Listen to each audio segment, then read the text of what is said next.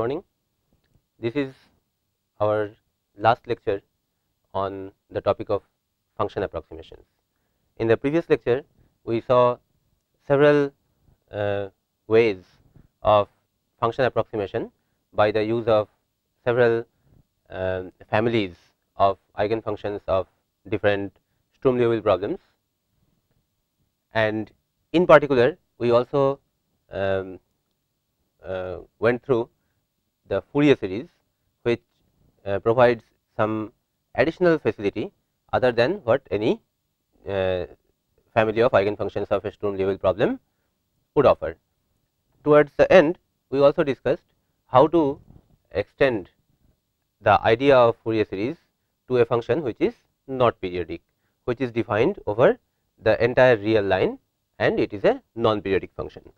For that we ask this question how to apply the idea of Fourier series to a non periodic function over an infinite domain.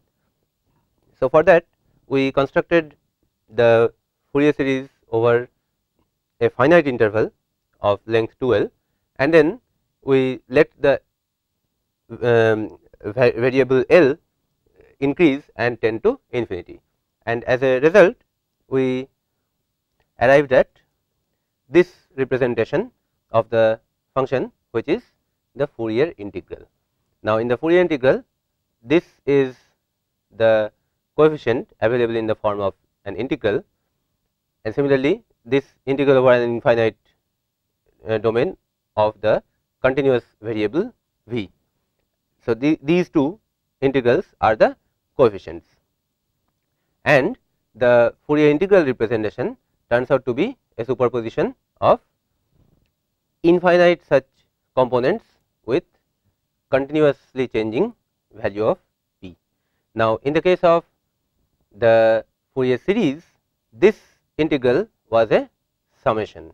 Now, here the summation becomes a sum of continuous components and therefore, you get an integral and in the place of the two Fourier coefficients we have got these in a similar manner in which as we got it in the case of Fourier series.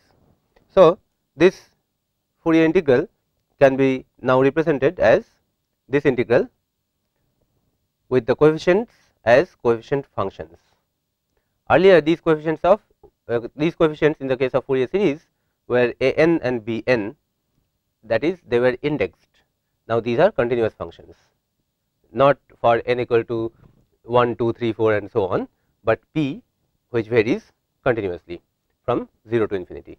So, in place of Fourier coefficients indexed with an integer variable n, we have got Fourier coefficients which turn out to be continuous functions of the frequency variable p. And these are in a way the corresponding amplitude functions A p and B p which are these two integrals. So, the only difference here is that this is an integral rather than a sum of terms for large number of n's and the coefficients are defined not for different values of n, but for continuous variable uh, frequency variable which is p. Now, using this itself you can also represent this large double integral in a somewhat different manner in which you can push cos p x inside the, this integral and sin p x inside this integral and then you get this form of the Fourier integral expression which is called the phase angle form in which you find that cos p x cos p v plus sin p x sin p v is replaced with this and this turns out to become a straightforward double integral. Now, from this double integral with a little more work we can define um, an integral transform and how it is done is here. So, in this cosine we can replace in this manner cos theta is e to the power i theta plus e to the power minus i theta by 2. So, if we uh, if we substitute this expression for the cosine term there then that by 2 comes here and inside we have got e to the power i p x minus v plus e to the power minus i p x minus v. And then we find here that in this double integral dv for that differential the corresponding variable v varies from minus infinity to plus infinity and this frequency variable p varies from 0 to infinity. Now, this term in the integrand can be omitted if we consider this limit also from minus infinity to infinity. That gives us a more symmetric representation. To see that what we do is that we can substitute p equal to minus q. So, that means that for this integral if we try to separately evaluate this component then in place of minus p we will have q here in place of dp we will have minus dq and therefore, the limit of this integral over p will become from 0 to infinity because of the sign change it will become minus infinity to 0. That is first of all it will become 0 to minus infinity and then because of the sign change we will have the limit reversed. So, now if we recognize this that the integral of this term f v into this turns out to be actually the integral of the same thing over minus infinity to 0, then the addition of these two terms is the addition of an integral from minus infinity to 0 and then from 0 to infinity. That means, this integral and this integral together will give the complete integral from minus infinity to plus infinity and that gives us the complex form of the Fourier integral in which it is a single exponential function here with f v and we have this double integral and then the in the complex form of the Fourier integral this term also rather than cosine and sine has become this exponential function with imaginary uh, index and this Cp the amplitude function has become the um, uh, uh, the uh, integral that you get when you take only f v into e to the power minus i p v and plus i p x remains here right. So, from the original Fourier integral also we got similar a p and b p. Now, in a complex form the two coefficients combine together to give us the complex coefficient function. Okay. Now, this actually holds the root of the definition of the Fourier transform. Let us see that directly here. In this chapter, we will not go into great detail, but we will just see how the integral transform called Fourier transform gets defined from the complex form of the Fourier integral. So, with a different notation here in place of x we have got t here in place of p the frequency variable we have got w here and so on. Otherwise, it is the same expression and the 1 by 2 pi that factor has been split into two parts one is here 1 by root over 2 pi and the other is here. Now, here this is the same earlier complex coefficient function and but with this factor here rather than the earlier factor that we had. Now, this can be considered as the function representation in which we are talking about a composition that is addition the sum of an infinite number of functions which are these. In the form e to the power minus w t by root over 2 pi that is e to the power minus w t divided by root over 2 pi. And the coefficients of these superposition coefficients of this superposition turns out to be this that is the amplitude function. Okay. And the amplitude amplitude function varies continuously with the frequency. Now this function representation is in a way the linear combination the composition of a large number of frequency components the frequency components are here and the corresponding coefficients are here corresponding amplitudes are here and this amplitude turns out to be a function of the frequency that you get from here. So, this function of frequency which turns out to be the amplitude is the Fourier transform. So, amplitude of a frequency component that is this bracketed term here and that is the Fourier transform. And this is a function of the frequency variable. So, that means a, a waveform has large number of components of continuous frequencies. And now for every frequency this gives us the amplitude value. And when with this amplitude value and this frequency we uh, construct the term that that component completely we have got this and such terms infinite in number distributed continuously over the frequency variable is the complete function. Now, if we rather have this Fourier transform in our hand then that Fourier transform sitting here with e to the power i w t multiplied and d w put here and integrated like this that is in this entire place if we put this Fourier transform then we have got this and this integral will recover the original function that is the inverse Fourier transform. The way we defined earlier Laplace transform and inverse Laplace transform in a similar manner we have got these Fourier transform and inverse Fourier transform. Fourier transform and inverse Fourier transform these are uh, quite symmetric in their look here you have got e to the power minus i w t to be multiplied and then integrated here you have e to the power i w t multiplied and then integrated.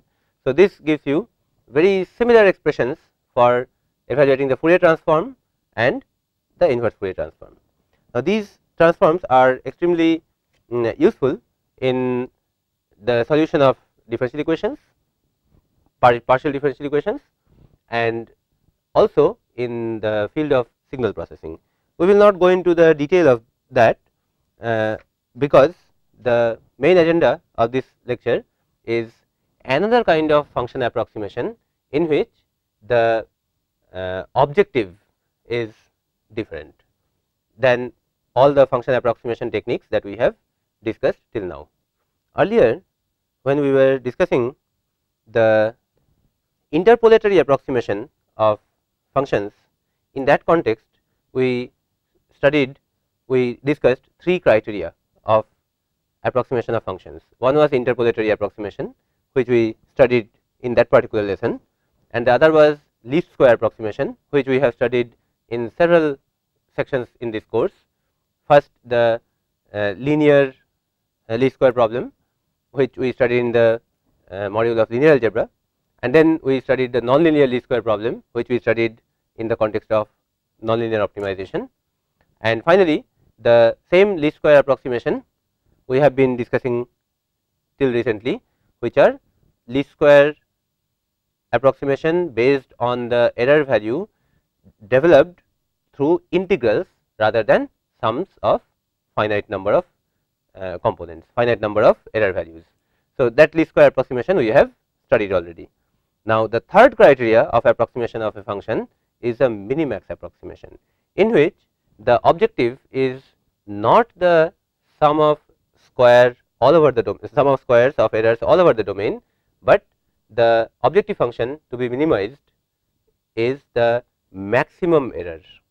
So, therefore, this kind of an approximation is called minimax approximation and one particular family of eigenfunctions that is the solutions of the Chebyshev equation and called the Chebyshev uh, polynomials give us specific interesting properties which are directly useful in the case of minimax approximation and therefore, this topic of minimax approximation we start with a discussion of Chebyshev polynomials.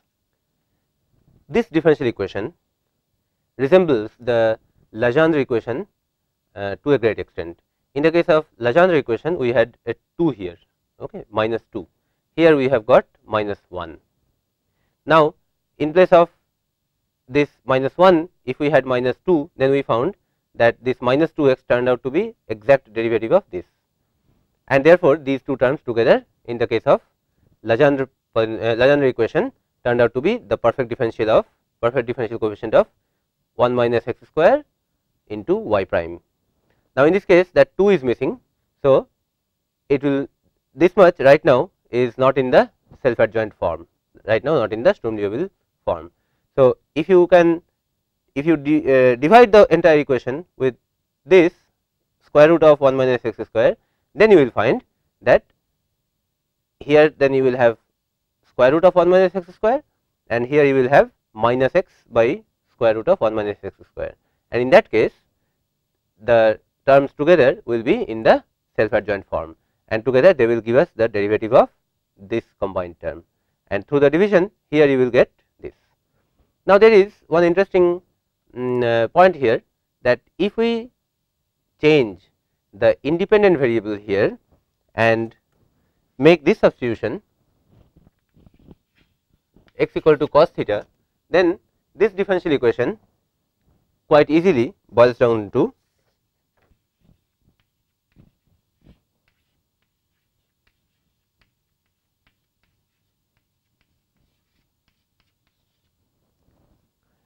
this differential equation is uh, the same differential equation which we saw in the case of Fourier series.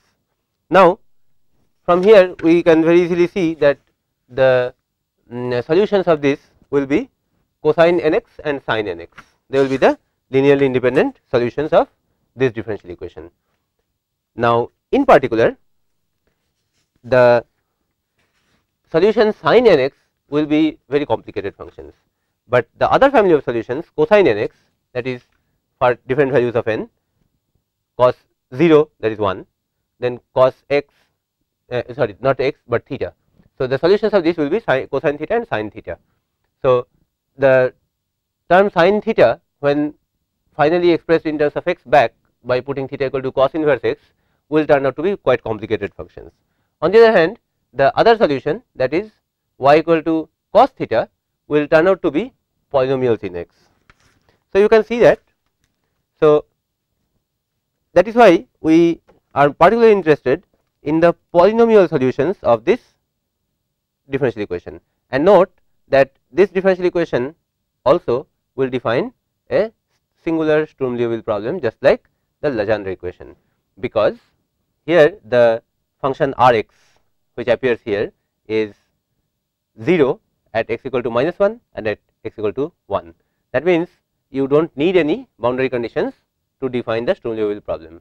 So, this differential equation will define a singular Sturm Liouville problem over this interval Legendre equation also did the same thing. Now, we are particularly interested in the polynomial solutions of this particular Sturm Liouville problem and one family of solutions of that will turn out to be polynomial solutions. Now, the way we discovered this fact in the case of Legendre polynomials, it is possible to discover the same fact for Chebyshev polynomials also in the same manner by consideration of the series solution and noting that for integer values of n the series terminates and gets you polynomial equations, polynomial functions. The same conclusion will be reached through this arrangement in which we replace x with cos theta and solutions of this turn out to be cosine n theta, sine n theta. We discard that sine n theta because that is not that is not going to give us polynomial solutions, but cosine n theta will give us polynomial solutions and for all values of n cosine n theta will have a value 1 when we take uh, x as 1. So, the closed form expression for that particular family of solutions which are going to turn out to be polynomial solutions is this that is T n x is cosine n theta, theta is cos inverse x. Now, if we put n equal to 0 then we get T 0 which is cos 0 that is 1. If we put n equal to 1 then we get cos cos inverse x which is x. If we put n equal to 2 then we have got cos 2 theta. We know that cos 2 theta is twice cos square theta minus 1. Similarly, cos 3 theta will be 4 cos cube theta minus 3 cos theta and so on. Okay. So, we can also very easily prove that the family this family of functions t 0, t 1, t 2, t 3 etcetera will satisfy this 3 term recurrence relation that is t k plus 1 will be twice x t k minus t k minus 1 which means that after evaluating the two of them we can evaluate others in terms of polynomials directly rather than writing multiple angle formulas of cosines from this recurrence relations recurrence relation. What other properties these polynomials have, these solutions of the Sturm Liouville problem have. Now, that with a little um, exercise we can establish a lot of properties of these polynomials. In the exercises of um, chapter 39 and chapter 40 of the textbook, we have the steps to establish many of these properties. So, it is expected that the student will go through those exercises and execute those steps to learn these the learn the derivation of these properties first hand. Here we will just summarize the immediate observations, immediate properties for proceeding further.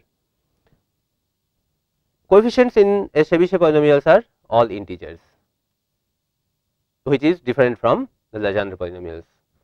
In particular, the leading coefficient of T n will be T 2 to the power n minus 1.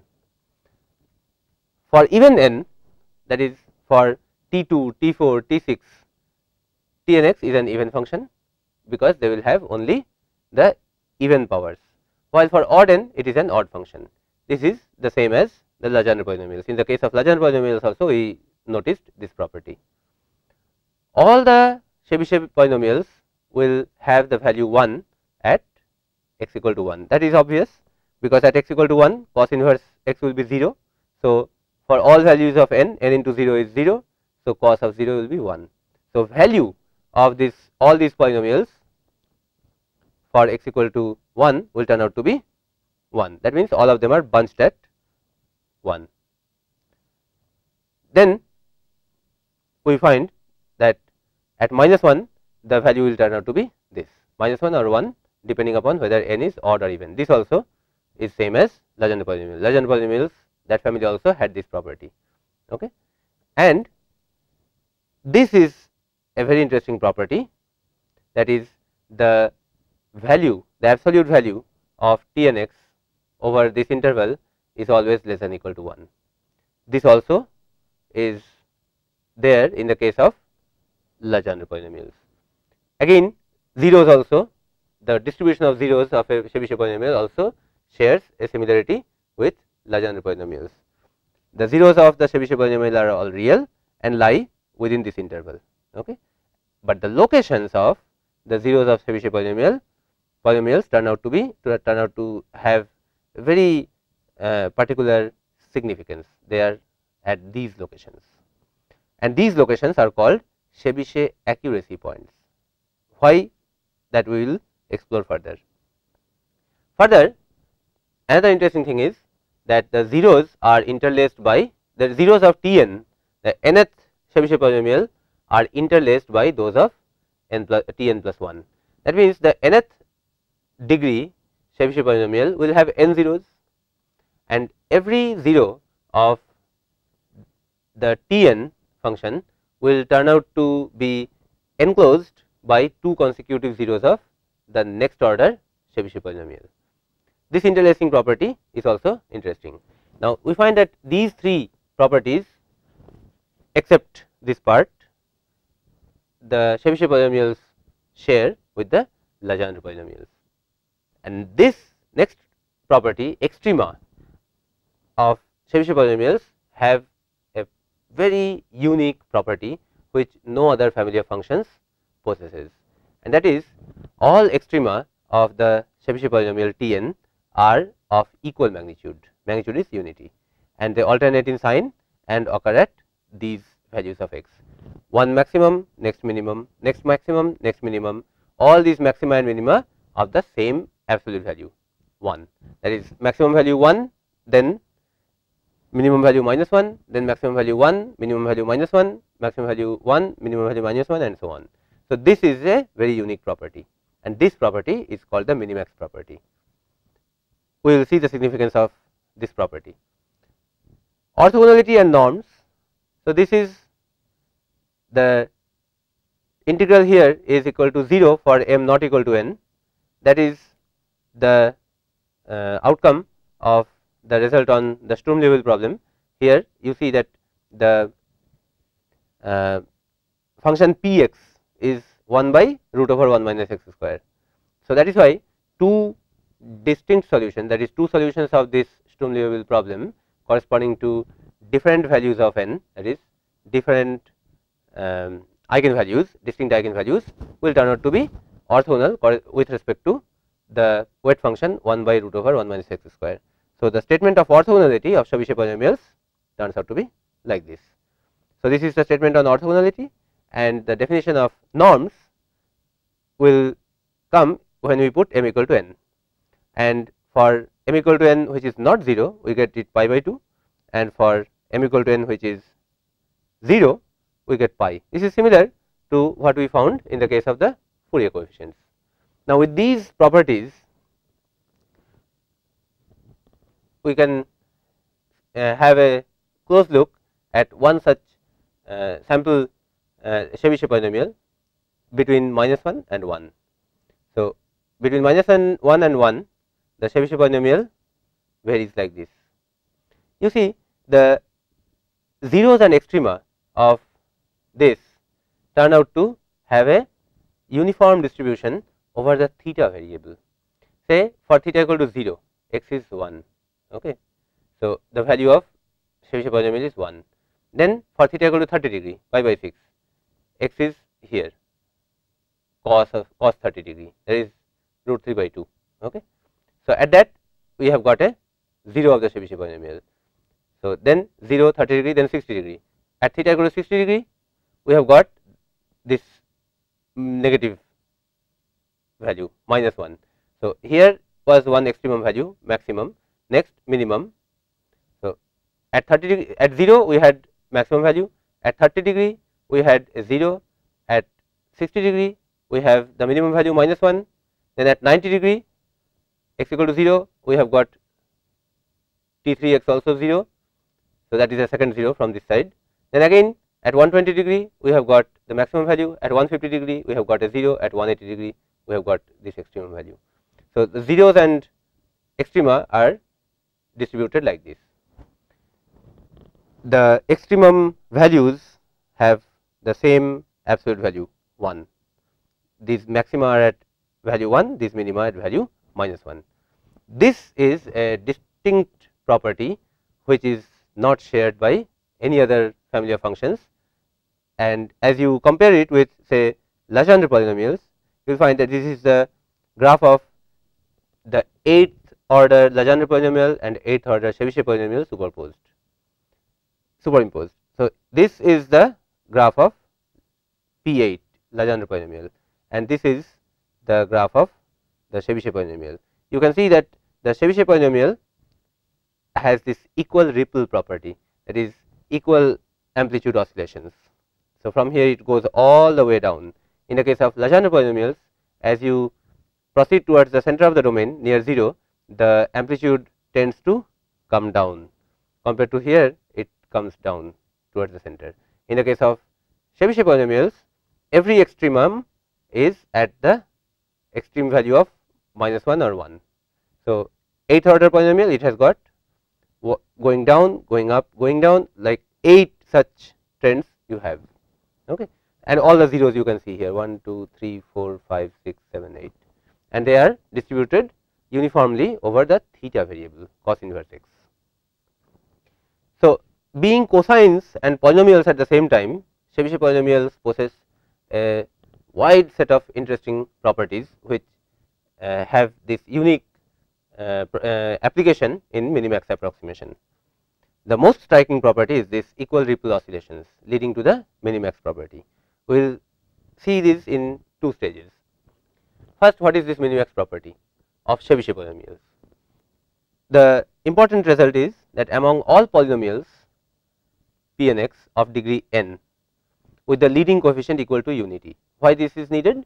Because if we want to compare two polynomials, then we can make no comparison if one of the polynomials can be multiplied by an, an arbitrary number. So, we need to fix something for both the polynomials to make a worthwhile comparison. So, we say that we will fix the coefficient of the largest degree term that is we are talking about monic polynomials. So, the leading coefficient will have unity that means x to the power n plus a 1 x to the power n minus 1 plus a 2 into x to the power minus 2 and so on. So, the leading coefficient is 1.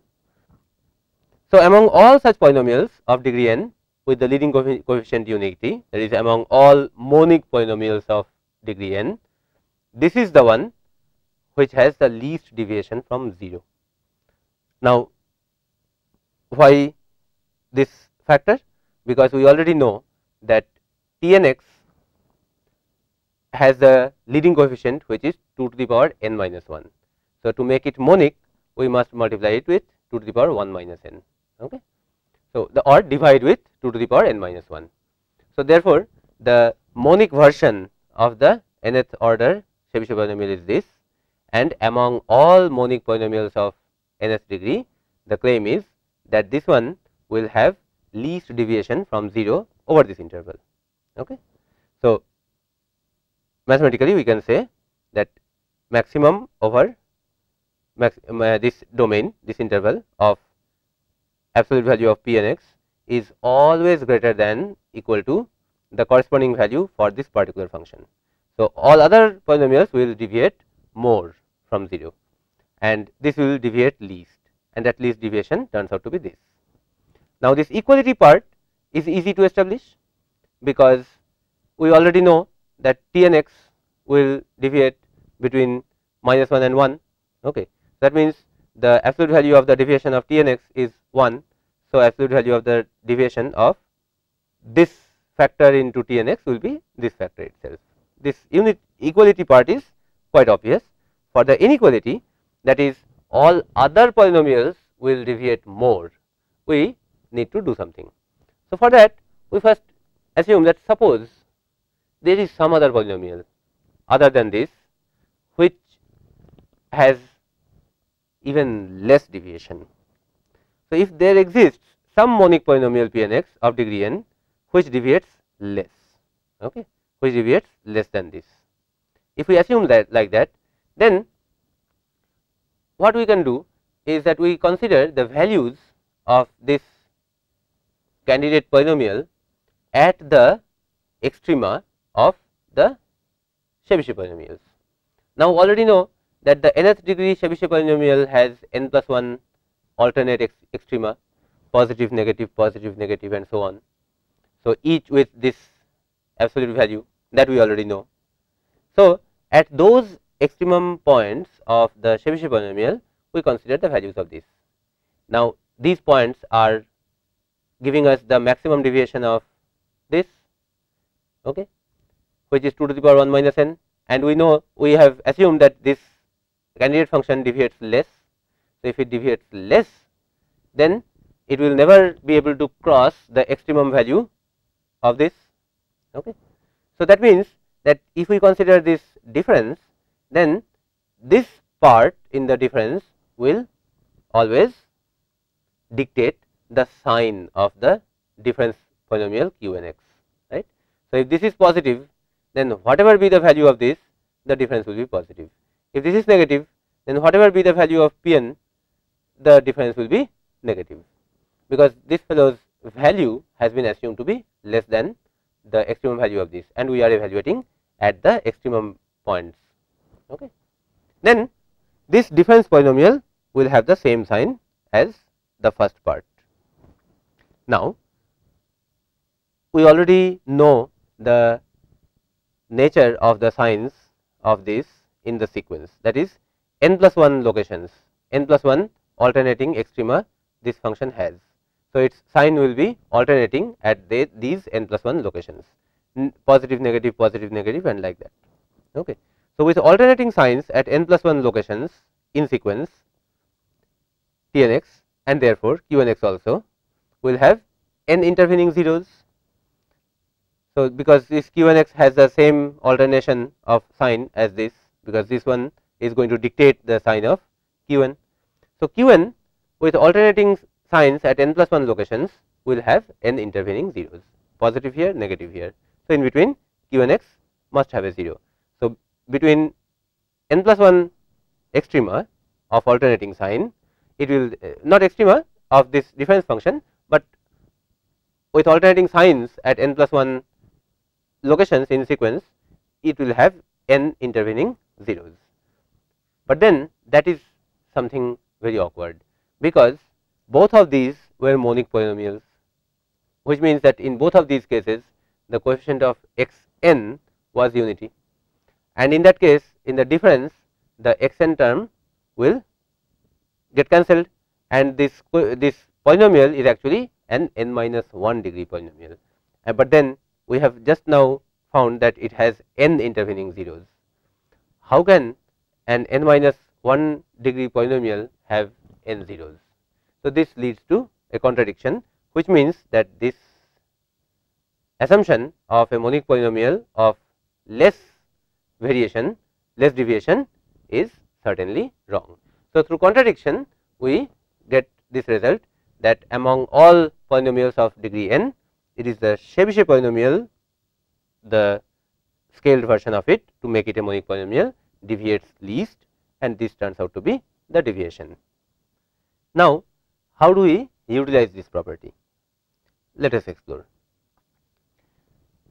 With a linear combination of the Chebyshev polynomials, we will have this series which is called the Chebyshev series, for which we can construct the coefficients a 0, a 1, a 2, a 3 etcetera as we have earlier studied that is how to construct the generalized Fourier coefficients for this Chebyshev series. There are the Chebyshev coefficients for which we have these expressions. Now, typically we would not be able to construct this infinite series.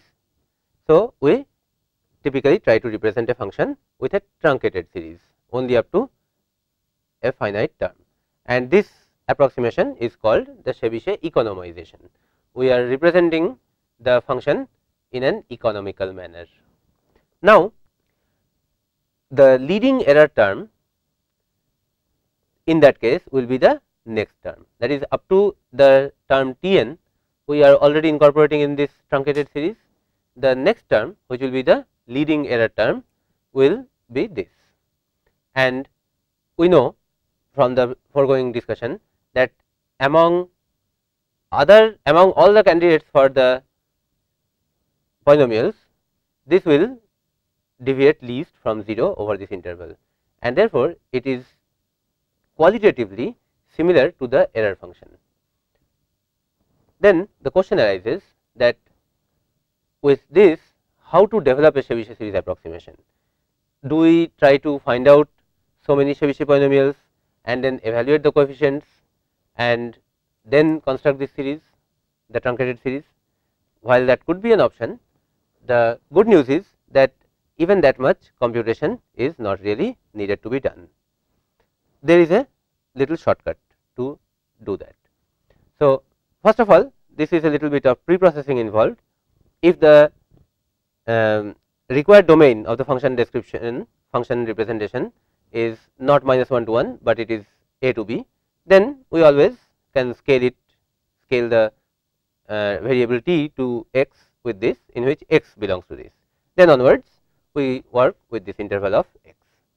The economized series this one which we are constructing that will give the minimax deviation of the leading error term which will deviate least and that deviation will be the will have the equal ripple property which every Chebyshev polynomial has. Now, since we are discussing with reference to the leading error term now, for a moment if we concentrate on this leading error term only and pretend that this happens to be the actual error and assuming this to be the actual error, we know that there will be n plus 1 values of x where this actual error officially turns out to be 0. Why? Because t n plus 1 has n zeros. So, there are n values of x from minus 1 to 1 in that interval of interest in which this function is 0. So, these are at the zeros of the n plus 1th Chebyshev polynomial. Okay. So, at these values of x we find that we if we take the exact actual function value at these points then they will be the correct values through which we can interpolate a function. So, that means that we can take these points these values of x and at these values of x which turn out to be the zeros of this we evaluate the function we have got the values of the function at n plus 1 values of x and we know that if this happens to be the actual error then the polynomial that will be interpolated through these n plus 1 points will deviate least. So, that means that after we have got the zeros of this function this Chebyshev polynomial of n plus 1 degree and got the Chebyshev accuracy points the so called Chebyshev accuracy points then the polynomial interpolated through these values at the Chebyshev accuracy points through any other means possibly with the Lagrange interpolation itself will give us the Chebyshev series approximation in terms of the actual function that we develop. Because here we were seeing that this series will have um, 0 error at those values which are those values of x which are roots of this zeros of this.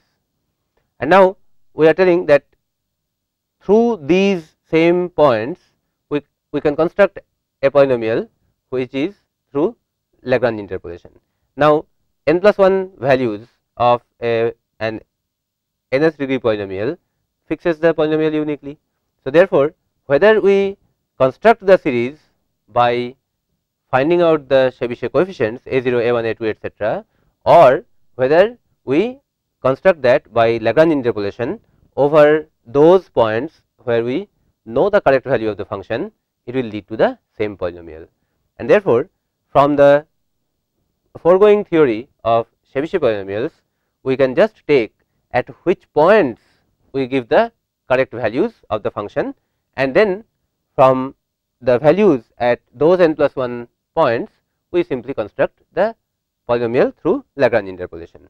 So, this is called Chebyshev Lagrange approximation.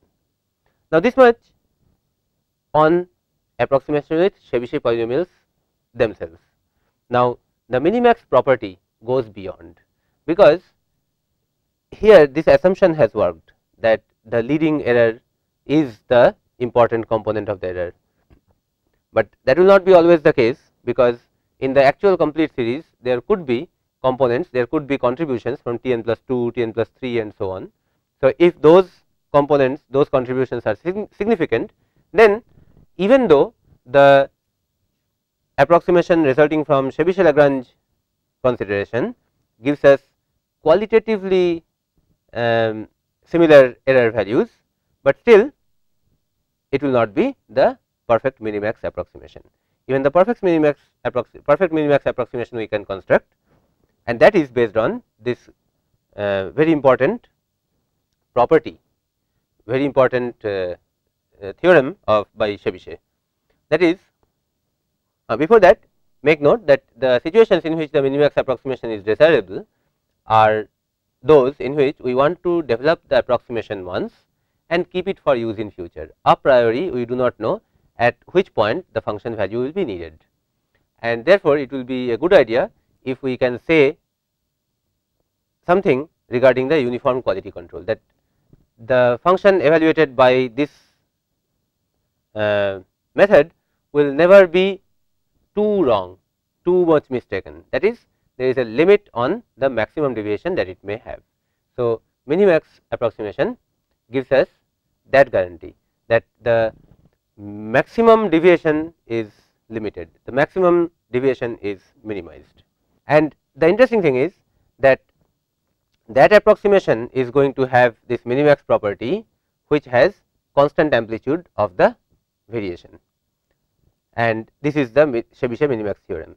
That is how do you recognize that a particular represent has this minimax property. The criterion for uh, recognizing that minimax approximation is the same as the maximum deviation going to be same in absolute value at all the extrema that is equal ripple oscillation is directly related to the minimax property. So, the Chebyshev's minimax theorem says that of all polynomials of degree up to n, a polynomial p x is the minimax polynomial approximation of a function that is it minimizes this maximum deviation if and only if there are n plus 2 values of x where this difference assumes alternate maxima and minima. So, where the this difference takes its extreme values of the same magnitude and alternate sign. That means, the exact properties that we saw in Chebyshev polynomials that is it has extreme maxima and minima values of the same absolute value 1 1 minus 1 1 minus 1 they are the, they were the extrema and that actually confers on the Chebyshev polynomials its minimax property. Similarly, for any approximation the approximation being minimax is equivalent to its equal ripple characteristic. In the following we will not really have a formal proof of this theorem, but we will um, in a way in a schematic manner we will see the line of proof which also gives us the seed of an algorithm to construct that minimum uh, minimax polynomial approximation. Suppose you have got a function f x and for which you have got a polynomial approximation of the fourth degree uh, which is the polynomial p x and the error function is f x minus p x. Now, the theorem says that p x is a minimax polynomial approximation of f x if the error function f x minus p x has n plus 2 that is 6 extrema of equal magnitude and alternating sign. So, d minus d, d minus d, d minus d 6 extrema of same magnitude and opposite signs. If f x minus p x has that characteristic, then p x is the minimax polynomial approximation of f x. This is the statement of the Chebyshev's theorem. Now, suppose the polynomial that we have constructed does not have this property. That is, it lacks that property only by a little. That is, 5 extrema are of the same value d minus d, d, d minus d. This particular extremum is not at minus d, but at a little above. That is, this is not really the farthest extremum value that we were looking for. That means, here in this case there is a gap. Okay. So, in that case this is not the minimax polynomial approximation.